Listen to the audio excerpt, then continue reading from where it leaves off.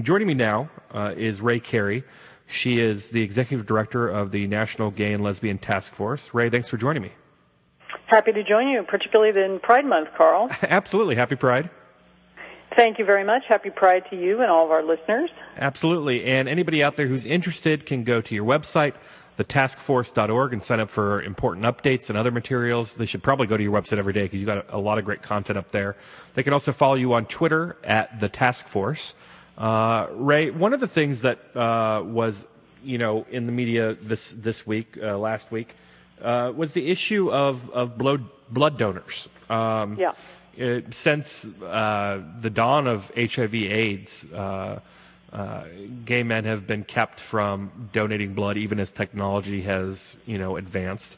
Um, and you all were right there in that fight. Why don't you give us an update on the hearings and what ended up happening?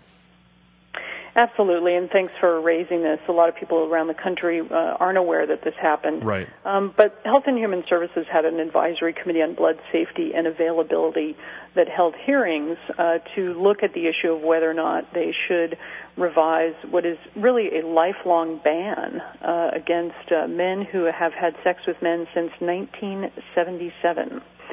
And a uh, year before I was born, by the way. Yeah, I, I was going to say probably uh, before a number of people uh, who are listening in tonight were even born. Um, so that's a long time to count back, certainly. Um, and they uh, they looked at the issue, had uh, looked at uh, you know were presented with uh, information, and unfortunately came out with a recommendation against lifting the lifetime blood ban that has been in place unfortunately, you know, there are so many people in this country who want to be able to give blood. It's actually not unfortunate that they want to give it. It's unfortunate that they can't. Right. And it's estimated that 219,000 more pints of blood could be made available annually if this ban was lifted. And even if they went to a one year deferral, instead of a full, you know, back to 1977, but just going back one year, 90,000 pints of blood would be available. More wow. more pints of blood would be available. So, you know, in many cases, as, as folks around the country enter into uh, emergency situations and need blood, this can be an issue of life or death. So the hearing took place, and what ultimately was the outcome?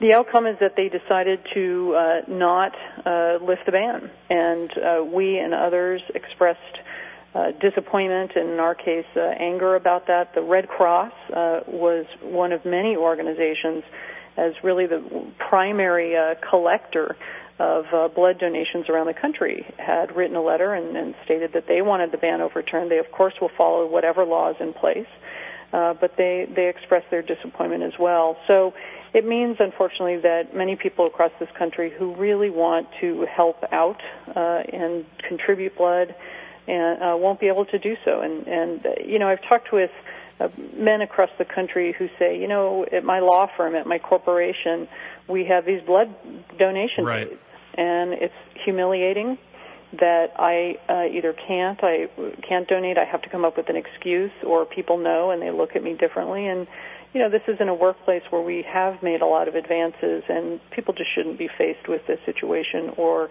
a situation where they can't contribute their blood in, in the way that they would want to. Because straight men and women uh, can, I, I believe, they have restrictions as well based on sexual behavior, but those restrictions lapse after a time. Isn't that right? Well, we want our consistent rules. Right. There, uh, you know, when we're looking just at the the number of people who are eligible to donate blood, it's less than 40% of Americans.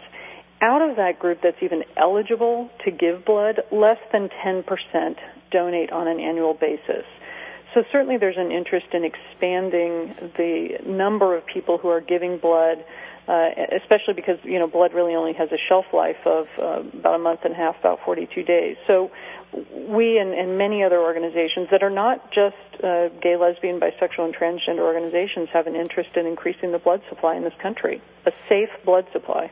Absolutely. I mean, this is not about uh, you know opening up uh, any kind of danger or anything. I mean, this country has come so far uh, over the last. I guess the blood ban's been in place since the the mid '80s, early '80s. Um, this is not about putting anybody in jeopardy. This is about uh, updating a policy that just hasn't been touched in a very long time. That's right. And as you noted at the start of this conversation, science has changed, science has advanced, and any blood donated today goes through a series of steps in the screening process.